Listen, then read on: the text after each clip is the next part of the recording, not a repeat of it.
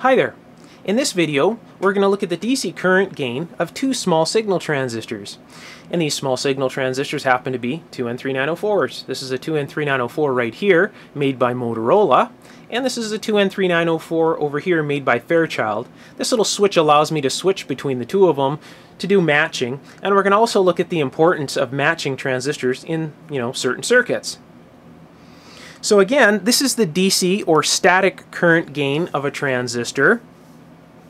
We can call it DC beta or static forward current transfer ratio. We call it all sorts of different things. They have all sorts of different names. But, uh, you know, to keep it easy, we'll either call it DC current gain or DC beta or something like that. I guess it's whatever happens to stumble out of my mouth when I'm talking here. And um, I'll show you how to do this measurement. It's quite a bit easier than the uh, AC current gain measurement because we don't need to use delta in this. It's pretty much just um, align the graticule to the line and away we go.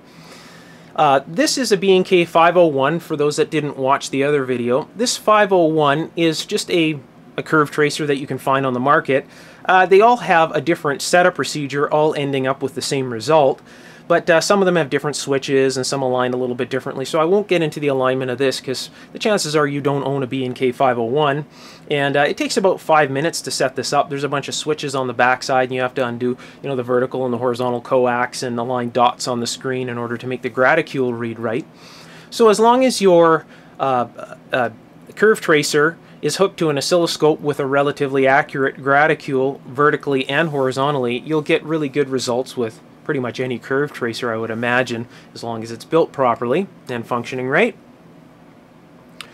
So how this works again is on the horizontal axis down here you can see this line right here. This is the floor okay?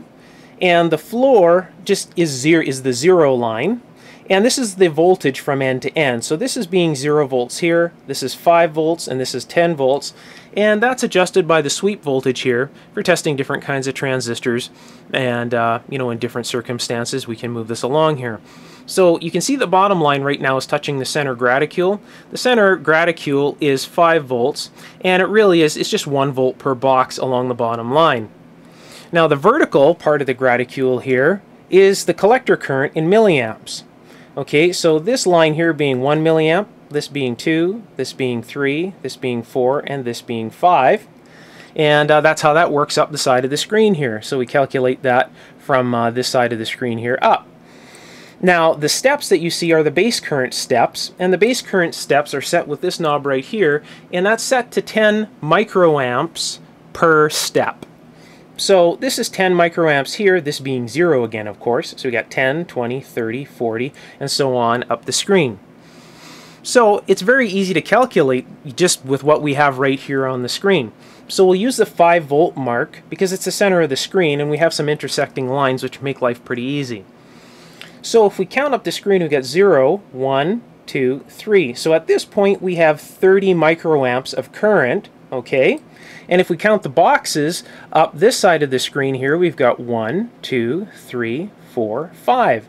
So we know that it takes 30 microamps of base current to make 5 milliamps of collector current.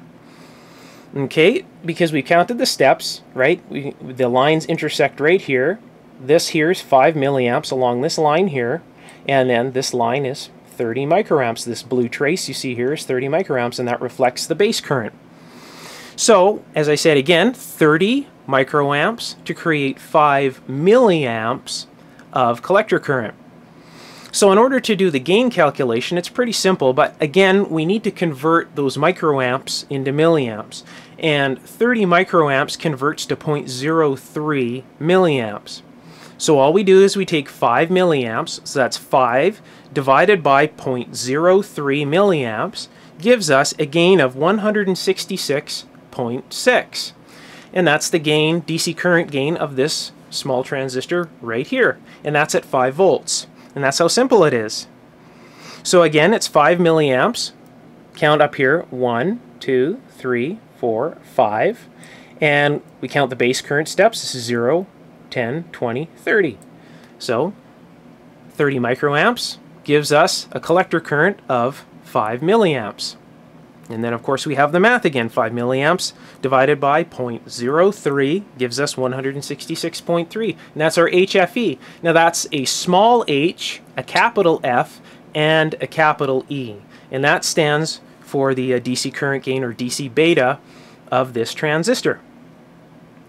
Now what we're going to do is we're going to switch over to this guy right over here, which is a Fairchild part, and we'll look at the difference. Now wow, that's a really dramatic difference. Same part number, quite a dramatic difference. We can already tell that this guy over here has got a lot more gain. Okay. So again, we'll use the intersecting lines, and we really don't have, uh, at the 30 microamp mark, we re it really isn't intersecting. And how we do is we just use a percentage between the two lines to figure out roughly where that is, and I'll explain that right now. So we'll use uh, the roughly around the 30 microamp mark, okay? So this is being 0 again, so we go 10, 20, 30, right? Now if we look between these two lines, we can comfortably say that, you know, this here would be 25, all right, and this being 30 because that's the step. So we'll say that this line on the graticule here, okay, is about 29. We'll call that 29 microamps. Okay, so we're going to mark that down on our piece of paper. We've got 29 microamps at that point. And if we count up the screen here on this side, again, same thing. We got one, two, three, four, five, six, seven, and that's about 7.2 there, a little over that, you know, maybe 7.4. We'll call it 7.2 just to make it simple. Okay, and we'll look at up here at the top of the screen here, right, because each one is 1 milliamp, so it's basically in twos per division. So we got 2, 4, 6, 8, and then another milliamp. So we'll call it 7.2, at least from where I'm standing. So uh, the uh, so now what we do is we write that down on our piece of paper. We have 7.2 milliamps of collector current, all right, for roughly 29 microamps of base current because again we have 1 2 3 4 5 6 7 and then 0.2 all right? And then if we count the steps here for the base current we have 0 10 20 30 and then of course we're using a ratio between the two. We'll call that 29 to this line here okay? And we'll call it 29 microamps. So you take 7.2 milliamps divided by 29 microamps, which we have to convert to milliamps again, so that's 0.029. So it's 7.2 divided by 0.029 gives us an HFE of 248.2. So we can see that the gain is much higher, and we can see that 29 microamps instead of 30 give us 7.2 milliamps of collector current. So it's pulling more current on the collector with, with uh, less current on the base. So we know that the gain is much higher, and of course we see that figure because we see 248.2 being our HFE. Now this is just a, an example of transistors. These are just two that I pulled out of my box. One happened to be a Motorola, one happened to be a Fairchild. And you'll see this kind of variation between the same manufacturer even. So you'll notice that matching transistors in power amplifiers and such can be very important especially you know when they're all hooked up together and they want to you know pull different loads when they're supposed to you know pull even load with each other. So if you had these two say these were big power amplifier transistors this one here would be doing all the work and this one here would just be kind of lagging along and behind. So that's the importance of matching power transistors. These are just small signal ones, and that can even be important in some smaller circuits. Uh, a lot of the Tek scopes and stuff, they had uh, special matched transistors all over them, you know, small signal transistors. But these guys here, as you can see, are just vastly different. That's this part here again, and you know this is this part here again. So we're looking at the Fairchild part and the Motorola part. We can see that the Fairchild part has a much higher gain.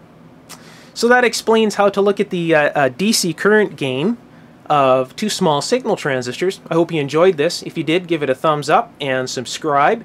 If you subscribe, you'll get automatic emails to tell you when I've posted up a brand new video, and that's about all you really get. They send you a little email and, uh, and tell you that uh, I'm posting more stuff, so you'll automatically know when I'm throwing new videos on. Hope you enjoyed. See you later.